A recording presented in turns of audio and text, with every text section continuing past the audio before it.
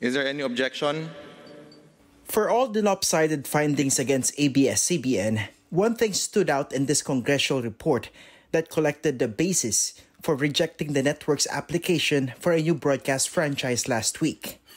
This was not a press freedom issue. But just the same, the technical working group detailed allegations of news bias coming from a total of five congressmen against the news network. The TWG also cited a vice presidential debate hosted by ABS-CBN. According to the report, the network violated its own debate rules when vice presidential candidate Alan Peter Cayetano was asked about the controversial rape joke made by his running mate Rodrigo Duterte. Worse, the first social media comment read during the debate allegedly was about the same joke.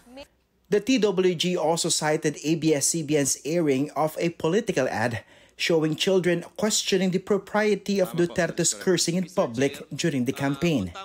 In the end, the committee opted not to make any finding on allegations of biased reporting and the network's meddling in politics. Besides, the application for a new franchise allegedly had nothing to do with press freedom. So the findings focus on alleged violations of law and ABS-CBN's old franchise, practically echoing the position of congressmen who had been calling for the network shutdown all along.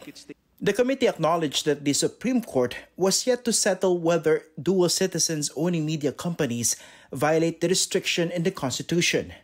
So it's up to Congress to decide on the case of ABS-CBN, claiming that there's a cloud of doubt on former Chairman Gabby Lopez's Filipino citizenship and allegiance. The uh, Agusan del Norte Congressman Lawrence Fortun does not agree. Uh, if in the case of Mr. Lopez, uh, the Department of Justice said he had never lost his Filipino citizenship. Ibig sabihin, hindi niya ni-renounce yan. Not once uh, did he renounce his Filipino citizenship. His being American is a result of his birth, not by choice.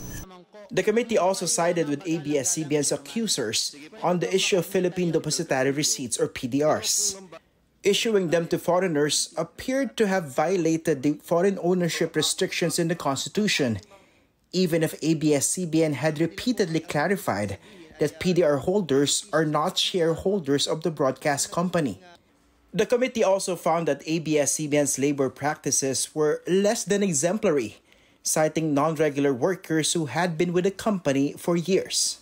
Such is a common practice within the local broadcast industry, but ABS-CBN promised to regularize more employees and provide more benefits to others. But with the House committee voting to deny ABS-CBN a new franchise, thousands of its workers are staring at the possibility of losing everything in the middle of a pandemic. Christian Esguerra, ABS-CBN News.